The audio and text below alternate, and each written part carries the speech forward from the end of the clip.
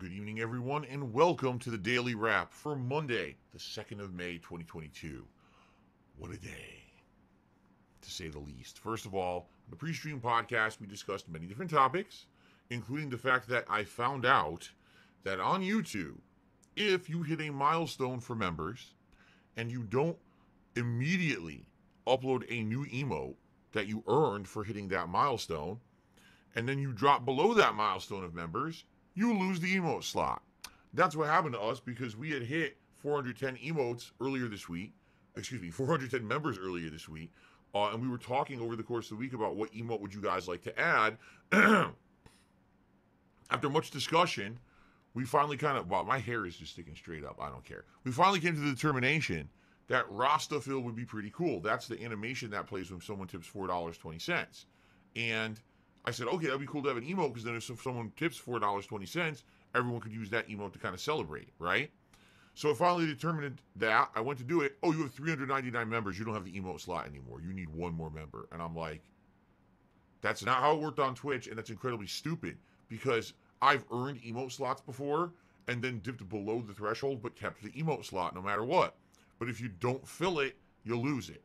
It's bad coding. It's what it is. It's very bad coding on YouTube's part they obviously don't have the same uh, level of coding that Twitch does. It's really stupid.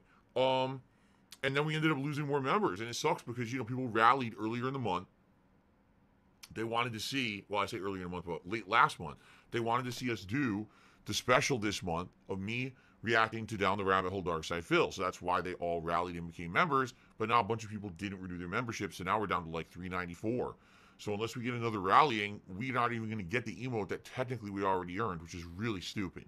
Um, what I would say is, if you're a member, your membership might have expired. Please consider re-upping it. And if you're you're not a member and you're considering joining, please do.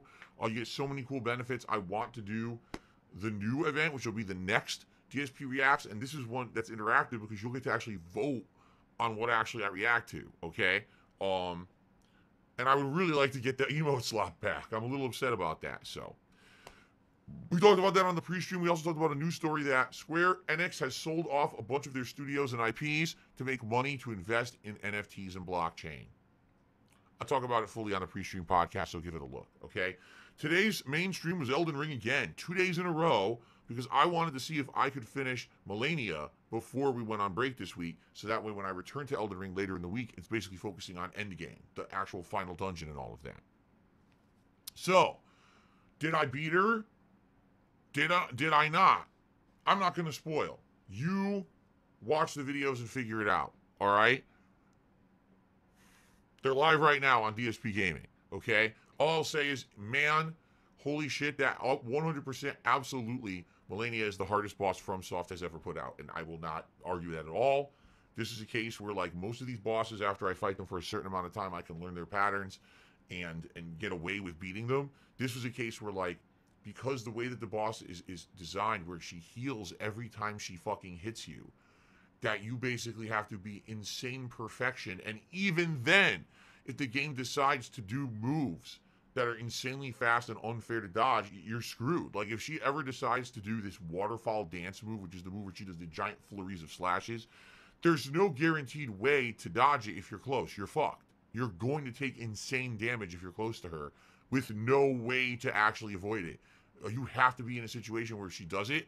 You're far enough away that you can run and outrun the first wave, or you can get away from the second and third waves through dodging so that you can heal and not die. It's ridiculous. And if she decides to do it in certain places, you're just completely dead. There's nothing you can do about it. And I've never seen a FromSoft boss like that before.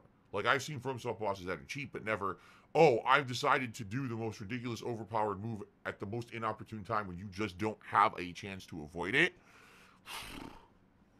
Anyway, check out the videos. You'll see if I actually beat her today or not. Um, and I can tell you that Elden Ring will continue later in the week. We'll talk about that in a moment. The late stream tonight was Bugsnax, the Isle of, of Snacks? conclusion. I liked it. It was fun. There was a big boss ending. And then there was a secret area to investigate, which we found, and it was pretty interesting. And then a secret bug snack. Problem is, the secret bug snack is super hard to catch and we ran out of time, so I didn't have a chance to do it. Plus, it didn't really matter. I'd already beaten everything in the DLC. It was still a good chill time, and I had a good a good amount of fun today. Support was outstanding on the Elden Ring stream. Um, it was honestly ridiculously slow on the Bugsnax stream, but I actually wasn't expecting much support on the Bugsnax stream regardless. So, so what a great streaming week, right? Tons of progress in games like Lego, end game stuff of Elden Ring, end game now of I Am Fish. Uh, you know, Skyrim doing the Dragonborn DLC is outstanding. Really great variety this week, and I had a ton of fun. Okay.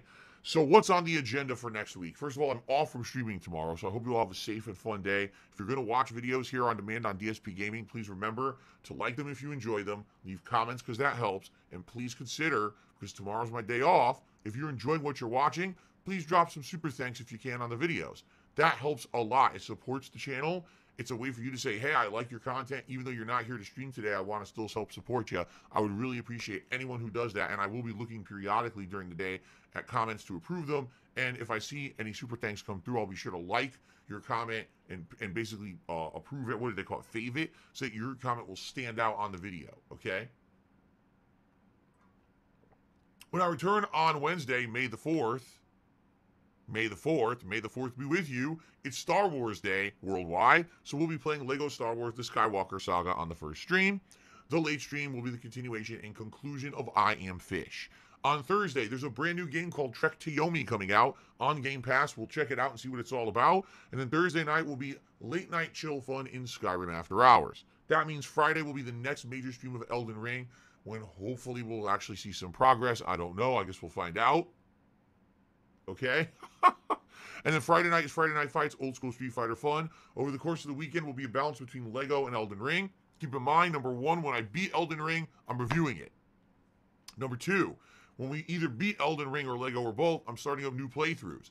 WWE 2K22, and I'm going to do a major stream of the Forgotten City to get the final ending and see how it all ends and then likely we're going to look for something else to put into the rotation depending on how long Trek to Yomi is. I don't know how long it is.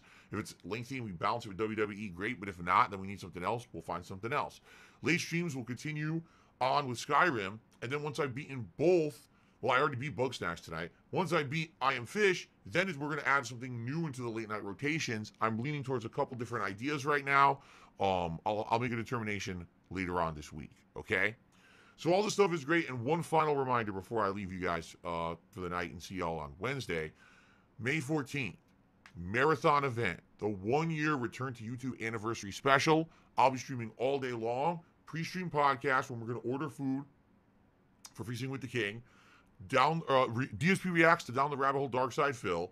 Feasting with the King, some gameplay elements, including possibly my first ever sim match in WWE 2K22, maybe an over the top battle royal for Royal Rumble. We'll see.